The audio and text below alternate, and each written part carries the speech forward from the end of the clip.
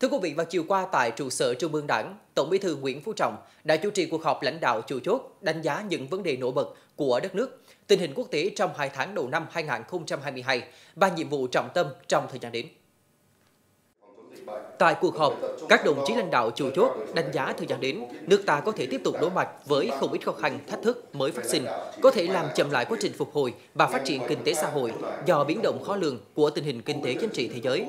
Tổng Bí thư Nguyễn Phú Trọng lưu ý cần theo dõi sát tình hình quốc tế, khu vực, phân tích, đánh giá kịp thời những tác động đến kinh tế thế giới, thị trường tài chính, tiền tệ, các chuỗi cung ứng hàng hóa, nhất là diễn biến giá cả các mặt hàng nhiên liệu và vật tư chiến lược để kịp thời ứng phó trong điều hành sản xuất trong nước, cân đối cung cầu và có chính sách xuất nhập khẩu phù hợp, đảm bảo cung ứng đủ xăng dầu, có giải pháp điều hành giá, trong đó có mặt hàng xăng dầu linh hoạt, phù hợp để kiểm soát lạm phát, ổn định kinh tế vĩ mô, không làm tăng chi phí sản xuất đầu tư, có biện pháp tháo gỡ khó khăn trong việc lưu thông hàng hóa qua cửa khẩu biên giới phía Bắc,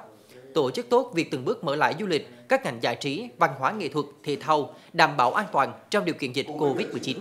thực hiện hiệu quả các chính sách an sinh xã hội, phúc lợi xã hội, Tổng Bí thư giao ban các sự đảng, chính phủ chủ trì cùng các ban bộ ngành có liên quan thường xuyên theo dõi sát tình hình liên quan tại Ukraine, tham mưu báo cáo Bộ Chính trị, Ban Bí thư, lãnh đạo chủ chốt để có sự lãnh đạo, chỉ đạo tập trung, thống nhất, đồng bộ, kịp thời những vấn đề liên quan đến Việt Nam, đặc biệt trên các lĩnh vực ngoại giao, quốc phòng, kinh tế và an ninh chính trị, phù hợp với lợi ích của Việt Nam nhằm bảo vệ độc lập, chủ quyền, toàn vẹn lãnh thổ,